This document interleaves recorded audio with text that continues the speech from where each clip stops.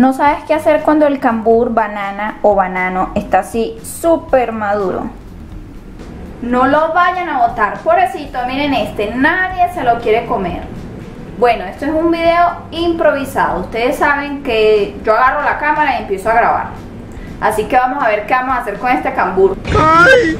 Le quité la cáscara y lo coloqué en la licuadora.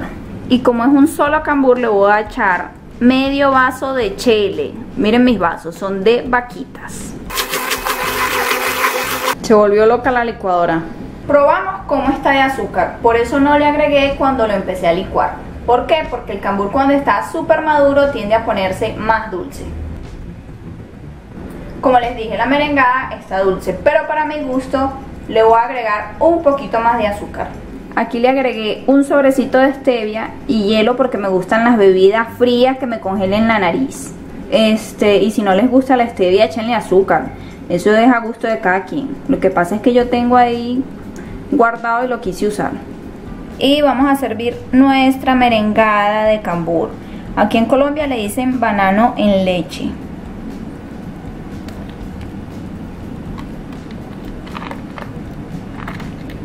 Miren, ¿ven? Y aquí está la merengada de cambur. Si quieren le pueden agregar canela, chocolate, lo que ustedes quieran. Yo me la voy a tomar así. Mm. Es muy sabrosa, de verdad. Si no lo han probado, los invito a que lo hagan. No boten las frutas. Es que una vez se olvida de la fruta y se maduran y se maduran y ya cuando uno ve están echadas a perder. Entonces no boten la fruta. Antes de que se me olvide les voy a decir, esto se tiene que tomar al instante, porque por lo menos si ustedes hacen la merengada hoy y se la van a tomar mañana, esto se pone negro, bueno, se pone como de un color gris y no sabe igual, pero no se ve bien. Entonces es bueno que la hagan y se la tomen al momento. Pues.